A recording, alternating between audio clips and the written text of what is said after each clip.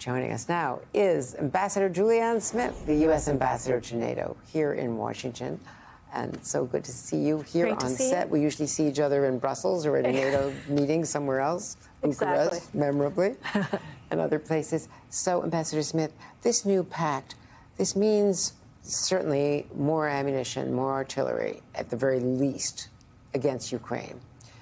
Can Ukraine now hold its own? It's getting the American deliveries. There was that terrible delay because of the congressional stalemate, and it lost ground after Munich and Vika, all the other setbacks, Kharkiv under under fire and at risk. But can they now hold the line and stop the Russian advances? Well, you're right. Uh, we did have, unfortunately, a delay of several months while Congress was trying to sort out and finalize the supplemental. Fortunately, our friends in Europe kept the assistance flowing, and they deserve credit for that. But now we're at a point where what's been promised is actually arriving on the battlefield. So our assessment is that the Ukrainians have put to use everything that we've been able to flow into Ukraine these last few weeks. They have stabilized the lines around Kharkiv which is good news.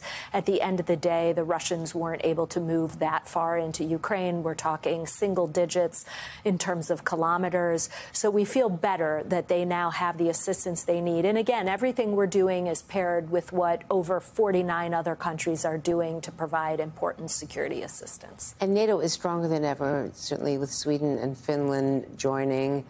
And, you know, more money, more NATO countries coming up to that 2% standard. But what you're also facing is sharp criticism from the Republican candidate. And I know you don't get into politics, but just the facts here. He is saying that Europe is not doing its part, it's still not doing, not pulling its weight. But Europe contributed $50 billion when our supplemental was still at risk. And now there's another 50 billion that the G7 has agreed is going to come from interest on the, the Russian assets that are held largely in Belgium not in the U.S. That's right. We had some breaking news this week. So you'll remember 10 years ago, all NATO allies pledged to spend 2% of their GDP on defense. When we made that pledge 10 years ago, we only had three countries at the 2% mark. But Jens Stoltenberg, the Secretary General of NATO, is in town this week and sat with President Biden and announced that now 23 members of the alliance spend 2%. That is a huge leap. It needs to be all 32 allies, so we'll keep pushing. But the fact that we have two thirds of the alliance now spending 2% is a major, major milestone. But you're right to note that burden sharing isn't just about that 2% target. Burden sharing is about doing more for Ukraine. And there we've just had some breaking news. The Germans are offering another Patriot. The Czechs have secured another 500,000 rounds of munitions for our friends in Ukraine. Many other countries are stepping forward. So great to have the U.S. supplemental, but let's not forget that the Europeans are doing their fair share as well.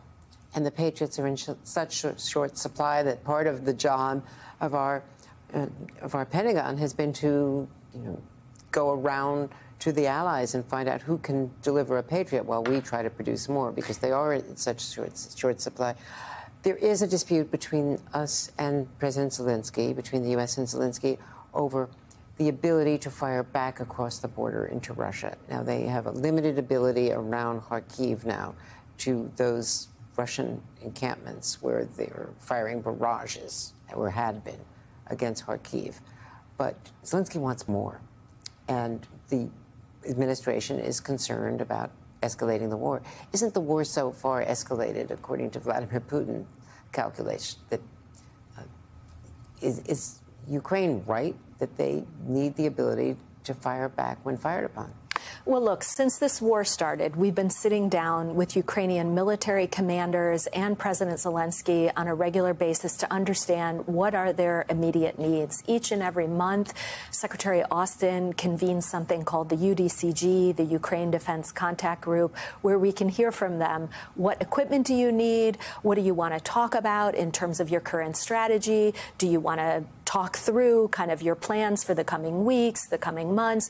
And as we do that, we are listening to them. We heard them in early May when they said, we want to go after the places on the other side of the border from which they're targeting Kharkiv. So the U.S. responded. The president made the decision to have a shift in our approach, and we heard them and responded in real time. As we go forward, we will continue to hear from them and determine what exactly they want to do, what they need from the United States and all the other countries. I think right now you've heard the president, his position on the long range ATACMS is pretty clear.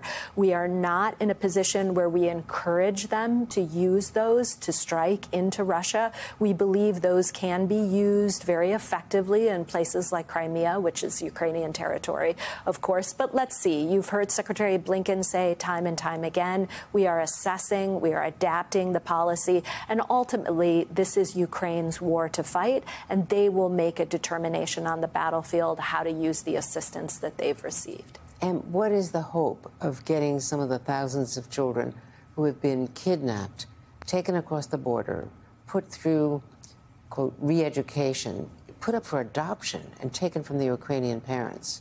There's so much about this war that just is so hard to process. It's such a great tragedy, the way in which Russia is conducting itself on the battlefield. And you're absolutely right. The way in which they've abducted thousands of Ukrainian children and are now working that, to put those children in Russian homes is obviously a violation of international law. It's, it's, it's a tragedy on a scale that we can hardly comprehend. So we collectively, working with our friends in Europe, working with the Ukrainians, we have to call out this behavior. We have to make sure that every country that's partnering with Russia right now, like North Korea, like the PRC, like Iran, understands what Russia is actually doing on the battlefield and work day in and day out to get those kids back into the homes that they belong in as soon as possible.